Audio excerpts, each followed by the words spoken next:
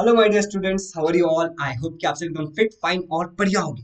आज हम लोग शुरू करने जा रहे हैं chapter number 16 from seven standard जिसका नाम है नेचुरल रिसोर्सेज ठीक है?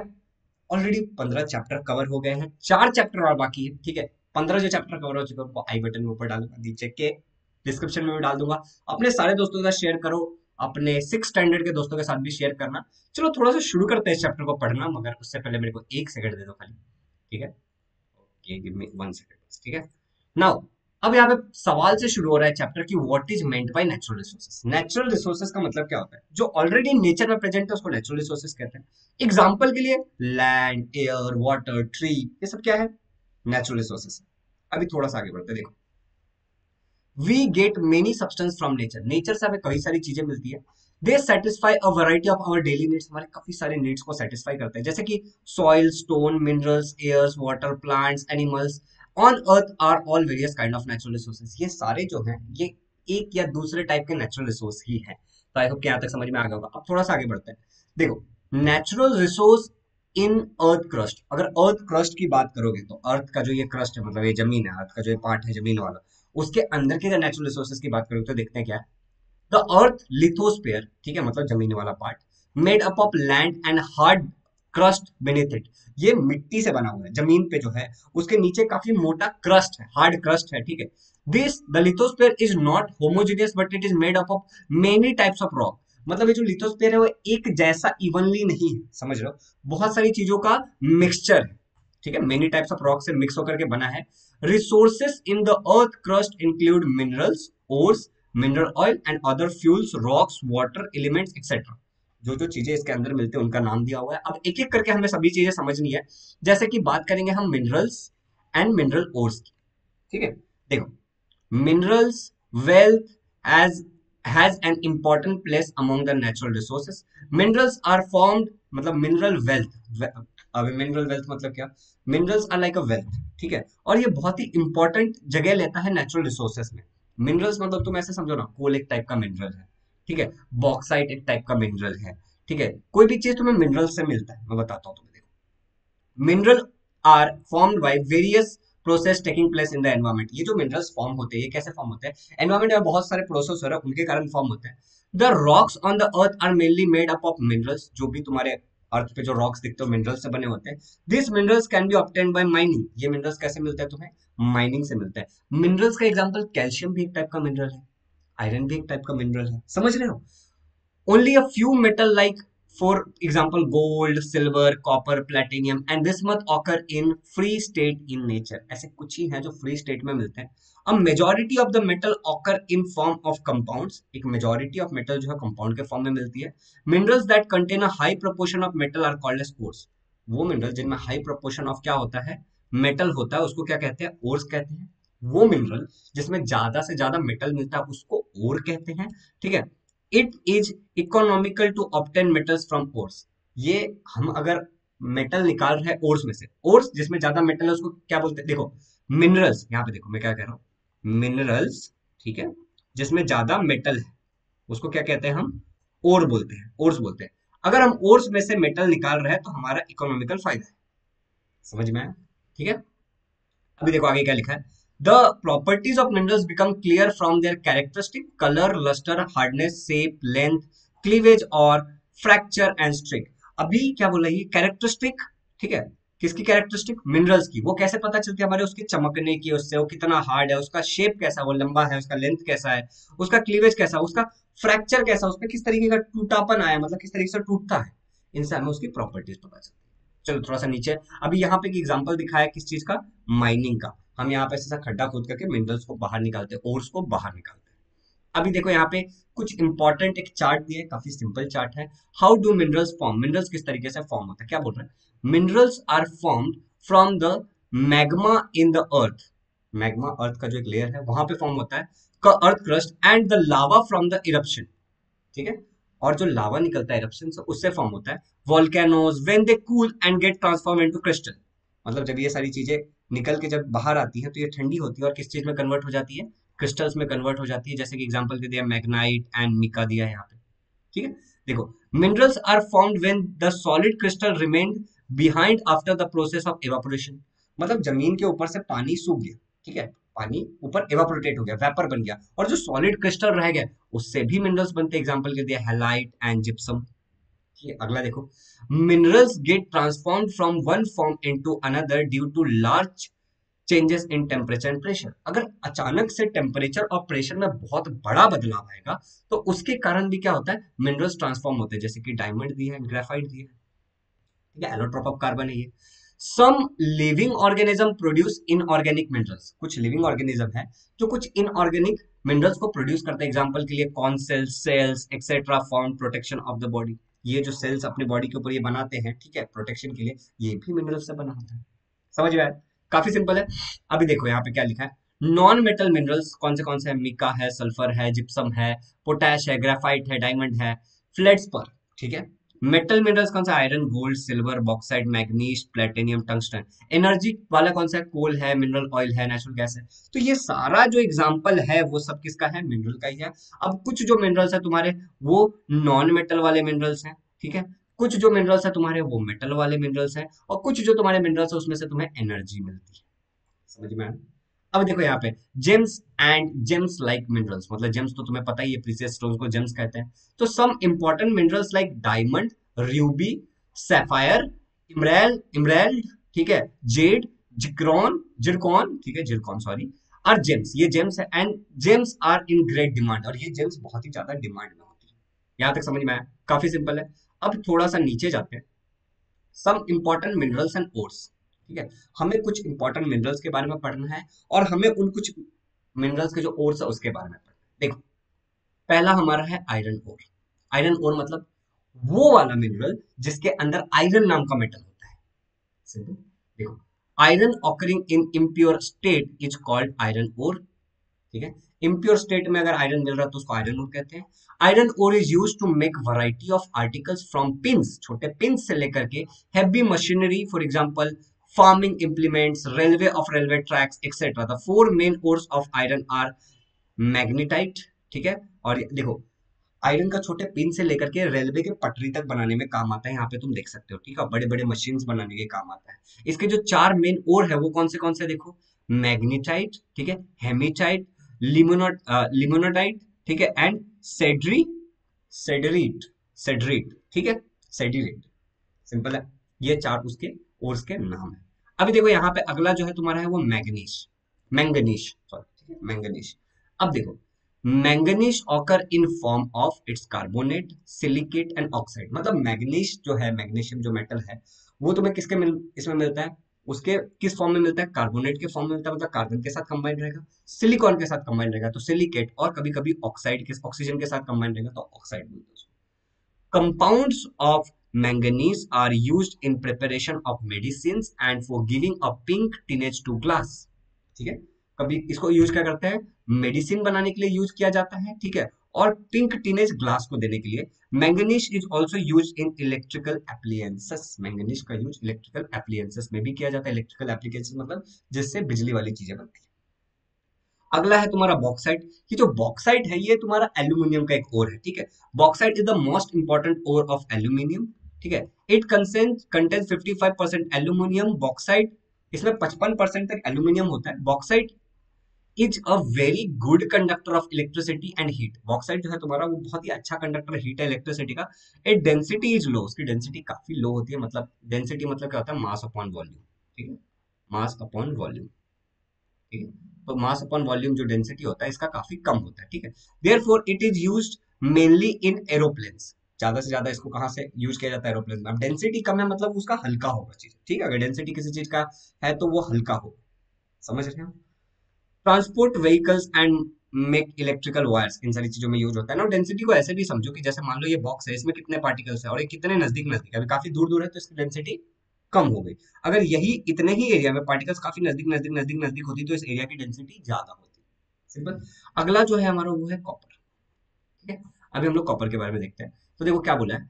Copper is found in impure state in vicinity of iron and other metals minerals तो जहाँ पे आयरन होता है या फिर वहाँ पे कॉपर तुम्हें इम्प्योर स्टेट में मिलता है। Copper is very good conductor of electricity copper एक बहुत ही अच्छा कंडक्टर है इलेक्ट्रिसिटी का।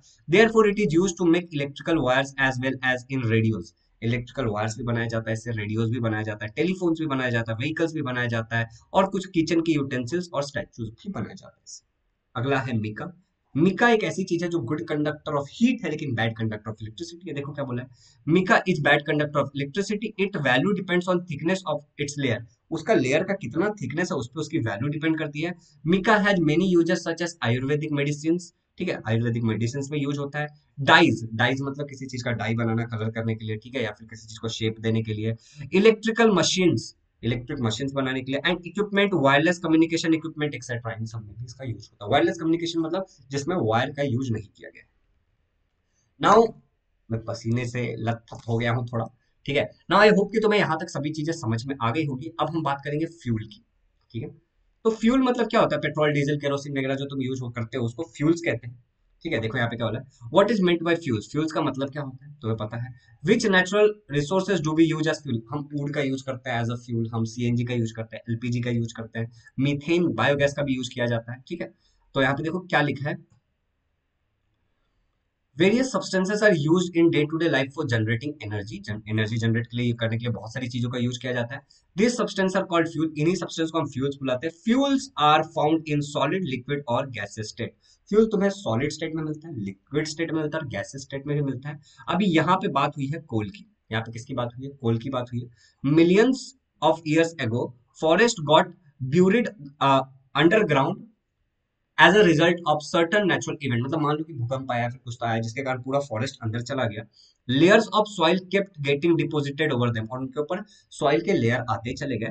The very high pressure from the above and heat from the earth interior slowly transform the buried plants into fuel अब जो भी प्लांट्स वगैरह अंदर गए थे, उसके ऊपर से काफ़ी प्रेशर था।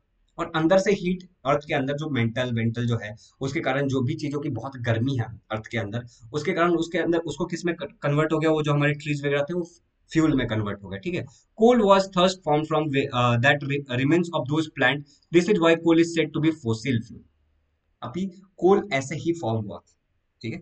ये जो फ्यूल बना था, इसको कोल बोलते हैं और ये क्योंकि फोसिल से बना है। फोसिल मतलब remains of living organism living organism के कुछ रिमेन्स रह गया रेमिनेंट्स रह गया, उसको फोसिल कहते हैं।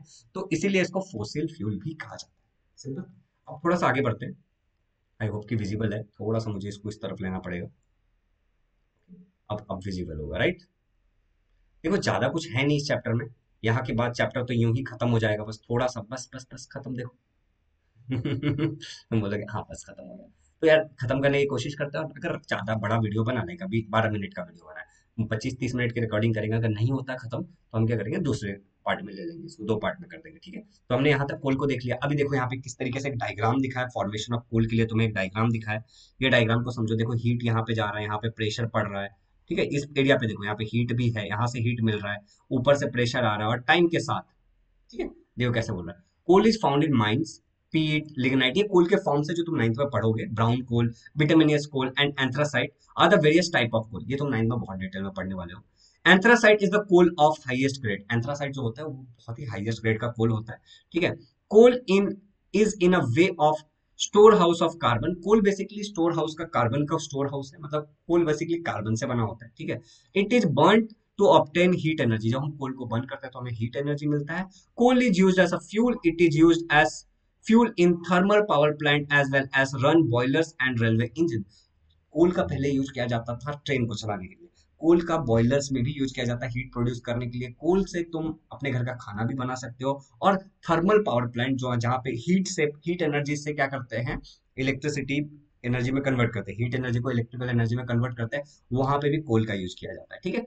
Coal is also use as a fuel for cooking and baking bricks baking bricks मतलब जो हमारे जो ईंट होते हैं, उनको पकाने के लिए, ठीक है? उनको कड़क करने के लिए, ठीक है? उसके लिए भी यूज़ किया जाता है, खाना बनाने के लिए भी यूज़ किया जाता है, ठीक है? In large scale the gaseous fuels producer gas and water gas are obtain from coal अब ये जो गैसियस फ्यूल्स है, तुम्हारे काफ़ी सारे प्रोड्यूसर गैस है, ठीक है? वाटर गैस है। ये तुम्हें कहाँ से मिलता है? कोल से ही मिलता है, ठीक है? कोल से फॉर्म होता है कोक भी कोल से फॉर्म होता है। Coal as an energy source contribute greatly in industrial development अब कोल एक एनर्जी का ऐसा सोर्स है, जो इंडस्ट्रियल डेवलपमेंट में बहुत मदद कर चुका है। Now listen to me very carefully ये पूरा का पूरा चैप्टर मैं चाहूँ तो एक बार रीड करके तुम्हें कहानी की तरह बता दू। मगर जस्ट तुम खाली सेवेंथ में हो, इसलिए मैं इतनी मेहनत करता हूँ, हर एक लाइन को ऐसे हाईलाइट करता हूँ फिर तुम्हें रीड करके बताता हूँ। तुम मेरे टेंथ के नाइन्थ के लेक्चर में आओगे तो मैं एहसास हो जाएगा कि इस तरीके से सही से नहीं पढ़ाया जाता है। बट मैं चाहता हूँ कि तुम्हें हर एक लाइन समझना है। तुम बच्चे हो अभी, छोटे बच्चे इतने बड़े नहीं हो बेसिकली ठीक है? चलो मिलियंस ऑफ़ ईयर्स एगो ये देखो यहाँ पे क्या बता रहा है। Thousands of year ago and at present मतलब क्या बोल रहे हैं यहाँ पे? क्या समझ में आ रहा है तुम्हें इन सारी चीज़ों से? क्या समझ में आ रहा है? बताओ। बहुत खुशहाली थी, बहुत सारे जानवर थे यहाँ पे। जानवर कम होते जा रहे हैं, अब तो जानवर बचे ही नहीं सब। ठीक है, जो भी है। ठीक है? Formation of mineral oil and natural gas ऐसा दिखाया वहाँ पे। बट एनी विच वे अभी I wanted you all to study this mineral oil तुम खुद पढ़ लो। ज़्यादा हार्ड नहीं है। देखो क्या बोल रहे mineral oil is a liquid fuel found by deposition of organic substances buried underground ठीक है? मतलब कोई भी चीज़ अगर अंदर चला गया और उसका डिकम्पोजिशन हो गया डिकम्पोज होते जाता है और ऑर्गेनिक सब्सटेंस मतलब क्या होता है? जो प्लांट या फिर एनिमल से मिलता है, ठीक है? Millions of years ago bodies of dead sea organism sank at the bottom of the sea मतलब काफ़ी सारे जो ऑर्गेनिज्म मर गए थे, जो पानी में रहते थे, उनका क्या हुआ? बॉडी चला गया समुद्र के अंदर। Layers of soil and sand get collected over them उनके ऊपर लेयर्स ऑफ़ सैंड और सॉइल कलेक्ट हो गया।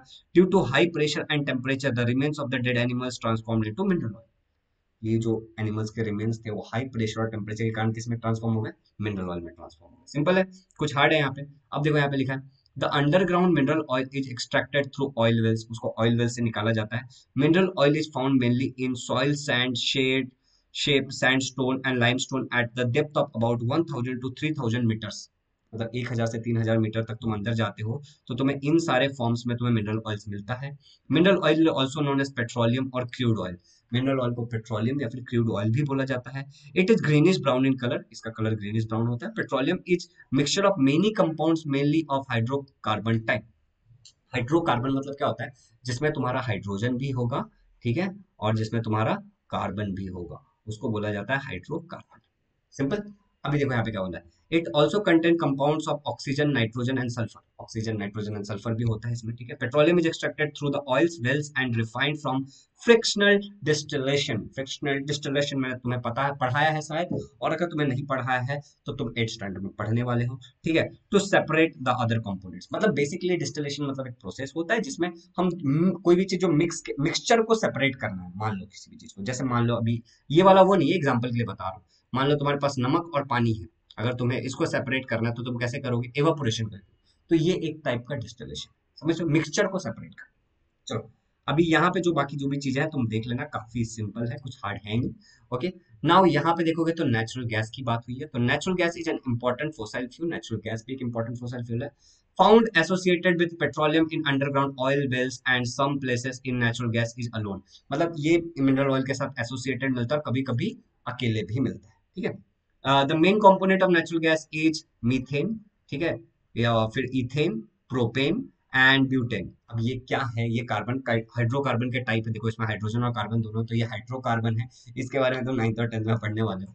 मैं ज़्यादा डिटेल में नहीं जाना चाहता यहाँ पे, ठीक है? Natural gas is found from the remains of organism buried deep underground and subjected to high pressure तुम्हारा नेचुरल गैस कैसे फॉर्म होता है? Remains of organism buried deep underground and subjected to high pressure और high temperature जैसा अभी तक कोल बना था, ज़मीन के अंदर चला गया हाई टेम्परेचर हाई प्रेशर में हुआ. सेम वैसे ही बनता है, बाकी यहाँ पे कुछ भी नहीं है. तुम लोग जो दो चीज़ों का यूज़ करते हो, एक है तुम्हारा सीएनजी और एक है तुम्हारा एलपीजी नेचुरल गैस का टाइप है लिक्विफाइड पेट्रोलियम गैस और सी सीएनजी क्या होता है? सी सीएनजी का फुल फॉर्म क्या था यार? कंप्रेस्ड नेचुरल गैस हाँ. कंप्रेस्ड नेचुरल गैस ये जो तुम यूज़ करते हो, ठीक है और यहाँ पे देखो एल है ये, ठीक है? एलएनजी मतलब लिक्विफाइड नेचुरल गैस है। एक एलपीजी भी होता है, ठीक है? तो ये जो टाइप के तुम गैस यूज़ करते हो खाना वाना पकाने के लिए या फिर गाड़ी वाड़ी चलवाने के लिए, ठीक है? तो वो कैसे आता है? वो पाइप से ट्रांसफ़र होकर के आता है ठीक है? यहाँ पे देखो पाइपलाइन से ट्रांसफ़र होकर आता है। फिर वो कहीं एक जगह पे आया जाता है पेट्रोल पंप पे, और वहाँ पे अंडरग्राउंड बहुत सारे टैंक होते हैं बड़े बड़े उसमें वो स्टोर होता है। फिर उससे हमारे गाड़ी में उसको ट्रांसफ़र कर दिया जाता है, जो सिलेंडर में स्टोर किया जाता है। सिंपल चलो अभी यहाँ पे कुछ करेक्टरिस्टिक दी है सीएनजी की कंप्रेस नेचुरल गैस की कैचेस फायर इजिली आसानी से उसमें आग लग जाता है। कोई भी सॉलिड वेस्ट जनरेट नहीं होता, उसकी कंबशन पे। कंबशन मतलब उसको बर्न करना इन प्रेजेंस ऑफ़ एयर ठीक है? और यहाँ पे other pollutants are not produce कोई भी टाइप का पॉल्यूटेंट प्रोड्यूस नहीं होता, आसानी से इसको ट्रांसपोर्ट किया जा सकता है और इसके कंबशन को आसानी से कंट्रोल किया जा सकता है। सिंपल चलो, अब आगे बढ़ते हैं, थोड़ा सा थोड़ा सा आगे बढ़ते हैं। यहाँ पे बताया कुछ एलपीजी के बारे में कुछ चीज़ें बताई हैं। I wanted you all to study this liquefied petroleum gas जो तुम्हारे घर में यूज़ होता है। ठीक है? और एक सेकंड रुक जाओ बस। चलो यार मैं एक्सप्लेन कर देता हूँ तुम्हें। तुम क्यों पढ़ोगे? मैं ही तुम्हें एक्सप्लेन कर देता हूँ। वी हैव टाइम राइट हमारे पास टाइम है। वी हैव टाइम तो हम कर सकते हैं। इतना तो कर ही सकते हैं एटलीस्ट ठीक है? अब देखो। Liquefied petroleum gas LPG. Petroleum gas is obtain during refining of crude oil जब तुम क्रूड ऑयल जो ऊपर तुमने पढ़ा, उसको जब रिफाइन किया जाता है, उसको साफ़ किया जाता है, तब तुम्हें क्या मिलता है? एलपीजी मिलता है, पेट्रोलियम गैस मिलता है। It is transform into liquid state by subjecting it to high pressure and reducing its volume इसके वॉल्यूम को कम किया जाता है वन डिवाइड टू फोर्टी इतना, ठीक है? और हाई प्रेशर से इसका वॉल्यूम कम किया जाता है और इसको क्या किया जाता है? लिक्विड स्टेट में लेके जाया जाता है, ठीक है? It is stored in thick walled steel cylinders that under pressure it remains in liquid state इसको एकदम मोटे मोटे जिस सिलेंडर का दीवार हो, उस सिलेंडर में रखा जाता है तुम्हारे घर पे जैसा आता है, ठीक है? कि वो लिक्विड स्टेट में ही रहे। As it comes out of the storage of cylinder it is transform back into gas जैसे वो सिलेंडर से बाहर आता है वापस लिक्विड से किसमें कन्वर्ट हो जाता है? गैस में कन्वर्ट हो जाता है, ठीक है? The gas contain mainly two components propane and butane इस गैस में दो कंपोनेंट होता है। एक होता है प्रोपेन जिसमें सी थ्री एच जो भी होगा, ठीक है? सिक्स बेसिकली ठीक है? C three H six okay H eight रुक जाओ। हाँ सी थ्री एच एट होगा बेसिकली इसमें। सी थ्री एच एट होगा और एक C four H ten butane ये दो चीज़ें होती हैं इसमें। ये क्या हाइड्रोकार्बन का टाइप है जो तुम आगे चल के पढ़ोगे बिल्कुल टेंशन मत लेना। ठीक है? और ये रेशो में होता है वो। दिस इज़ ऑर्डरलेस इसका कोई गैस इसमें ज़्यादा कोई खुशबू नहीं होती ठीक है? But a small amount of chemical ethyl ठीक है? Has a uh, strong characteristic order is added to it. थोड़ी सी ये यूजुअली तो ये ऑर्डरलेस होता है लेकिन इसके अंदर क्योंकि ये इथिल मेरकैप्टान ऐड किया जाता है इसके लिए इसके अजीब सी बदबू होती है गैस की। This helps to detect any leakage of LPG gas immediately and thus to avoid the accident इससे क्या होता है अगर थोड़ी सी भी कहीं भी लीकेज हो तो हमें गैस की बदबू आ जाती है और हम एक्सीडेंट से बच सकते हैं आग वाग लगने से ठीक है? आई होप यहाँ तक समझ में आ गया होगा। देखो The demand of for fuels has increased greatly due to rapidly growing population, but reserves of fuel are very limited. Demand तो बढ़ती जा रही है लेकिन जो फ्यूल अवेलेबल है बहुत ही कम है। So it is becoming difficult to meet the increase demand तो ये डिमांड को फुलफिल करना बहुत ही मुश्किल हो गया। The livelihood of reserve getting exhausted is known as energy crisis ऐसा बहुत ज़्यादा चांसेस है कि यह सारे फ्यूल्स खत्म हो जाए उसकी कोई एनर्जी क्राइसिस कहते हैं। As the reserve of the fossil fuel namely mineral oil and coal are limited and the demand is increasing alternative fuels are coming in to use hydrogen biofuels methanol wood alcohol ethanol green alcohol और some other alternative fuels अब क्योंकि लोगों को पता है कि एक ना एक दिन ये फ्यूल खत्म हो जाने वाला है और इसकी डिमांड बढ़ते जा रही है इसलिए कई सारे अल्टरनेटिव आ गए हैं यहाँ पे उन सबके नाम। ठीक है? नाउ फॉरेस्ट रिसोर्सेस अगला बचा हमारा फॉरेस्ट रिसोर्सेस और ocean resources mineral bio resources और ये खत्म हो जाएगा। ठीक है? तो ये भी कर, कर ही लेते हैं। तो वन शॉट में चैप्टर खत्म हो जाएगा। अच्छा तुम्हें पता है मेरा एक्चुअली एक क्लास है दैट द रीजन की मैं काफ़ी घाई घाई में घाई घाई में घाई घाई में पढ़ा रहा हूँ तुम्हें। बट यार अगर ऐसे मैं नहीं डालूँगा ना तो फिर मैं डालूँगा ही नहीं मुझे पता है। मैं नहीं डालूँगा तो मैं डालूँगा ही नहीं। इससे अच्छा है कि घाई घाई में ही पढ़ा के खत्म कर देते हैं। मतलब बुरा तो नहीं पढ़ा रहे तो पढ़ा ही रहे Now, what is meant by forest resources? जो forest से तुम्हें जो चीज़ें मिलती है उसको forest resources बोलते हैं। And extensive area of land covered by the variety of plants is called as forest एक बहुत सारा ज़मीन का हिस्सा है जो किससे कवर्ड है? पेड़ पौधों से कवर्ड है जिसको फॉरेस्ट बोलते हैं। Forest is a natural habitat of plants animals and microbes सारे छोटे छोटे जानवर माइक्रोब्स ठीक है? एनिमल्स बड़े जानवर और कुछ प्लांट्स रहते हैं यहाँ पे। About thirty percent of the total land in the world is covered forest thirty percent जो टोटल दुनिया का लैंड है वो फॉरेस्ट से कवर है। Certain specific protective and productive function अब जो फॉरेस्ट है वो काफ़ी प्रोटेक्टिव फ़ंक्शन करता है। जैसे तुम्हें पॉल्यूशन को कंट्रोल करता है, बारिश को लाता है, ठीक है? और कुछ प्रोडक्टिव फ़ंक्शन भी करता है, ठीक है? अब प्रोटेक्टिव फ़ंक्शन ऑफ़ फॉरेस्ट यहाँ पे सारी चीज़ें दी हुई हैं। सॉइल इरोजन को रोकता है, ठीक है? Variety of water flowing to land को बताता है। यहाँ पे बता रहा है कि कंट्रोल द फ्लड बाढ़ आने से रोक लेता है reduce the rate of evaporation evaporation के रेट को रिड्यूस करता है टू प्रोटेक्ट वाइल्ड लाइफ और बहुत सारी चीज़ें दी है जो बहुत सिंपल है, तुम समझ जाओगे। And moving forward medicinal plants कुछ ऐसे प्लांट्स भी हैं जो मेडिसिनल है, जो तुम्हें मिलती है फॉरेस्ट में ही मिलती है। उसके बारे में मेंशन है that is too simple okay वो पढ़ के देख लेना तुम। अब बात करते हैं यहाँ पे ओशियन रिसोर्सेज ठीक है? देखो यार, हमें पेड़ नहीं काटना चाहिए, उल्टा हमें पेड़ लगाना चाहिए, हमें फॉरेस्ट को कंजर्व करना चाहिए, क्योंकि आजकल ये बताना चाहता हूँ मैं, पता नहीं तुम्हारे टेक्स्ट में मेंशन है या नहीं है, धीरे धीरे धीरे धीरे क्या हो रहा है ना पॉपुलेशन बढ़ रहा है पॉल्यूशन भी बढ़ रहा है। अगर तुम पेड़ ही काट दोगे तो बहुत गड़बड़ हो जाएगी। तो पेड़ लगाने की, लगाओ रेदर देन पेड़ काटने के, ठीक है? और थोड़ा पॉल्यूशन को भी और पॉपुलेशन को भी कंट्रोल करना चाहिए। चलो, बात करते हैं ओशियन रिसोर्सेज की। ओशियन रिसोर्सेज मतलब कौन से रिसोर्सेज जो तुम्हें ओशन में मिल रहे होंगे? We have learn that ocean occupy a great part of earth surface than land ज़मीन से भी ज़्यादा ओशन है राइट तुम्हें पता ही है। अगर पृथ्वी में देखोगे तो थोड़ा सा ही ज़मीन है, बाकी तो पूरा ओशन ही है right energy can be obtain on a large screen from ocean ocean से बहुत ज़्यादा एनर्जी मिल रही पाई जा सकती है। Ocean waves at high and low tide of the ocean currents are being used for generation of power ocean के जो waves होते हैं हाई टाइड लो टाइड उसका यूज़ किया जाता है पावर जनरेट करने के लिए। Last year we have learn something about in this geography में तुमने कुछ पढ़ा होगा इसके बारे में, मैं तो कभी जोग्राफी पढ़ता नहीं there are reserves of variety of natural resources in sea water and the bottom of sea and beneath the seep to the resources are available for seas and ocean में called as marine resources marine resources अभी देखो ocean के ज़मीन पे सी bed पे और ocean के अंदर कई सारे रिसोर्सेस है जिनको मरीन रिसोर्सेस कहा जाता है। सिंपल चलो अब यहाँ पे पॉइंट कैसा है? लो और हाई टाइड का यूज़ करके पावर जनरेट किया जा सकता है। कई सारे रिसोर्सेस हैं जिनको मरीन रिसोर्सेस कहा जाता है। ये इंपॉर्टेंट दो पॉइंट है। अभी देखो, यहाँ पे देखो। ठीक है? लास्ट ही पैर लास्ट ही पेज है ये आई थिंक सो ये लास्ट ही पेज है, ठीक है? तो अभी देखो क्या बोला है। मिनरल्स एंड बायो रिसोर्सेस ठीक है? बायो रिसोर्सेस फ्रॉम ओशन के बारे में पढ़ना हमें। देखो scientist believe the billions and tons of minerals are found dissolve in ocean water अगर ओशन वाटर को बात करोगे तो बिलियंस ऑफ़ टन्स मिनरल्स उसमें डिजॉल्व है। There are large reserve of tin chromium phosphate copper zinc iron lead manganese sulphur uranium etcetera इन सारी चीज़ों को सी वाटर में मिक्सचर में मिलता है ये सारी चीज़ें। In the ocean and sea beds ठीक है? ओशन मतलब पूरा का पूरा वो जो भी तुम्हारा समुद्र वगैरह है, ठीक है? और सी बेड मतलब उसका उसका जहाँ पे ज़मीन से वो मिलता है, ठीक है? We get many types of gems conches shell pearls from the sea sea से ये सारी चीज़ें मिलती है राइट बहुत सारे जेम्स मिलते हैं पॉल्स मिलते हैं राइट इस तरीके का सेल्स मिलता है, ठीक है? There are large reserve of minerals oil and natural gas at the bottom of sea अगर अभी तो मिनरल ऑयल से हमें मिल रहा था, वो भी सी के अंदर से निकाला जा रहा था one thousand two three thousand की गहराई से, ठीक है? तो वो भी वहीं से मिल रहा है। We avail this by drilling oil and gas wells तो हम ज़मीन, हम समुद्र के अंदर होल करते हैं, ठीक है? हम ड्रिल करते हैं ऑयल वेल के लिए गैस वेल के लिए, और वहाँ से हम निकालते हैं।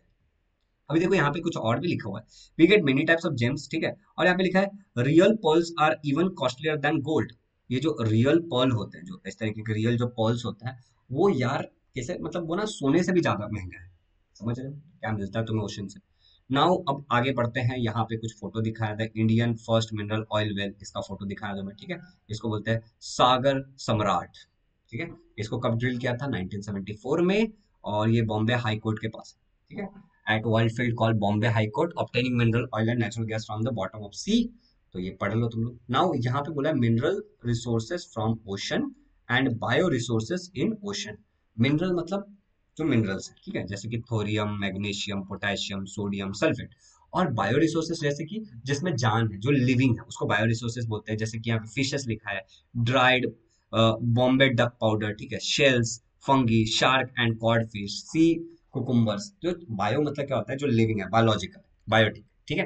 तो उसके बारे में यहाँ पे दिया नाउ यहाँ पे चैप्टर होगा खत्म, ठीक है? मरीन ऑक्यूपेशन में फिशिंग ये मेन ऑक्यूपेशन होता है। Salt farming a big industry ये सॉल्ट फ़ार्मिंग मतलब नमक निकालना, ठीक है? ये भी समुद्र से आता है। पता है तुम्हें?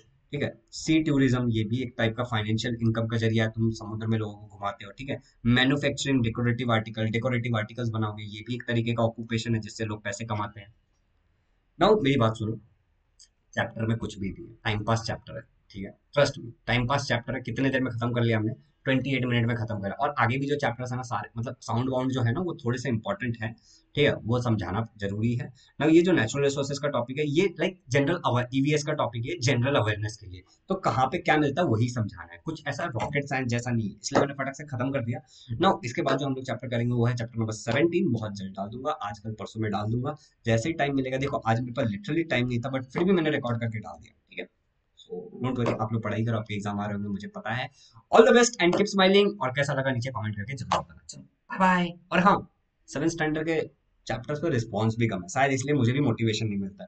रिस्पॉन्स आना चाहिए ना कम से कम हज़ार दो हज़ार दस हज़ार लोग तो देखने चाहिए तो मज़ा भी आएगा बनाने में राइट सौ लोग भी नहीं देखते डालने के बाद तो क्या ही मतलब निकल गया। आई गेटिंग चलो थैंक यू एनी विच में शेयर करो अपने दोस्तों के साथ। चलो बाय बाय टेक केयर